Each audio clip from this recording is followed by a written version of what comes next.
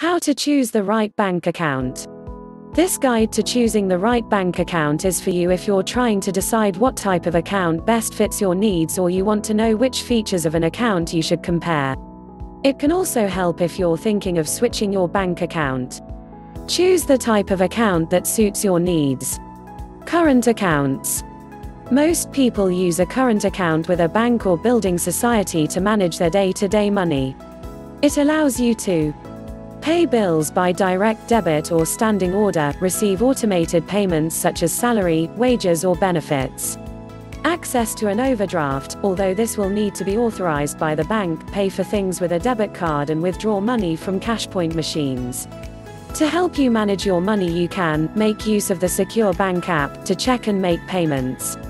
Set up text alerts to warn you of a low balance. If you're thinking about opening a packaged account, be sure to check out how many of the additional benefits you would actually use and whether you can get them cheaper elsewhere.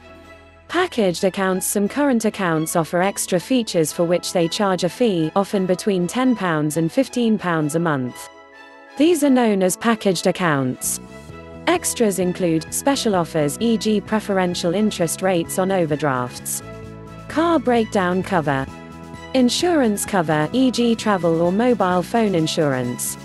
Extra services. Fee-free basic bank accounts.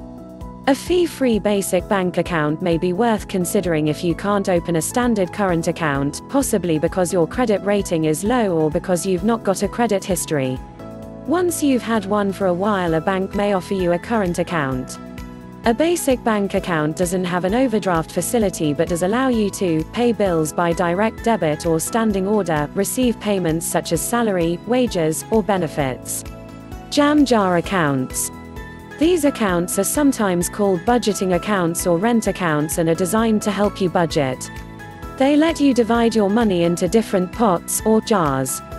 You decide how much money goes into each pot by working out how much you need for your bills and how much is left over for spending or saving. They also allow you to pay bills by direct debit or standing order. Receive payments such as salary, wages, or benefits. One disadvantage of these accounts is that they charge a monthly fee. You'll also often have to go through a credit union or housing association, but they may pay for the fees for you.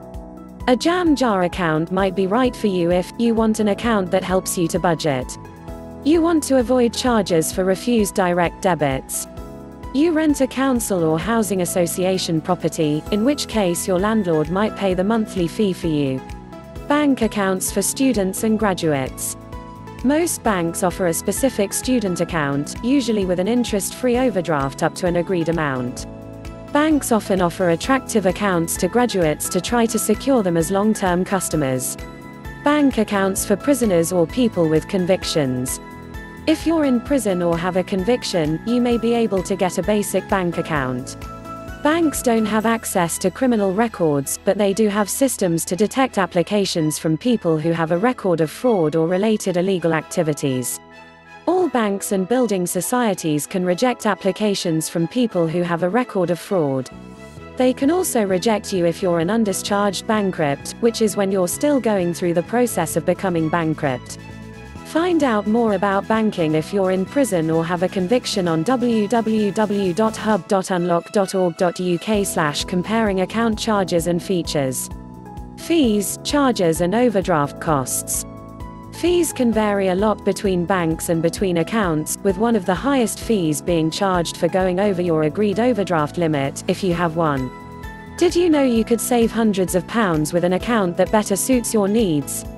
If you regularly spend more than you have in your account, choose one that will give you an overdraft up to an agreed limit without charging fees and, or with a low interest rate.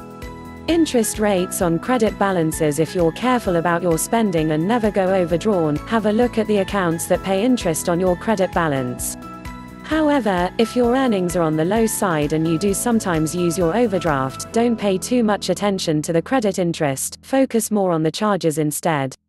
Comparing your accounts. Banks can also offer account dashboards, which let you see accounts from multiple banks and building societies side by side online. This lets you see the differences in things like charges, incentives, Many banks offer deals to attract new customers, but be sure to check if there are strings attached. Look beyond any short term offer and make sure that, when it ends, the account will still be the best for you. Deals include a cash incentive, higher interest for a period, a monthly credit of usually around £5, customer service you can use the www.which.co.uk slash to find the banks with the best customer score. The rating takes into account things like service performance and dealing with complaints so you can find a bank that suits you. Decide how you want to deal with your bank. Do you like dealing with a person in a branch or would you prefer the convenience of telephone or internet banking? Not all banks will have a branch near you or let you have internet access to your account, for example. When you're looking for your account, check how the bank lets you access it and which ways are important for you. Telephone banking. Internet or mobile banking. Cashpoint machine near you that's free of charge to use. By post. Branch service. If you like going into a branch, choosing a bank you can easily get to will be the most important factor. Compare different accounts using comparison sites.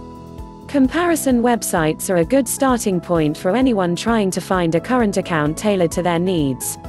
We recommend the following websites for comparing current accounts www.money.gocompare.com, https colon slash slash moneyfacts.co.uk, www.moneysavingexpert.com, www.which.co.uk. You can use the Which quality rating to find the banks with the best customer score. In Northern Ireland, you can also try the www.consumercouncil.org.uk. Remember, comparison websites won't all give you the same results, so make sure you use more than one site before making a decision.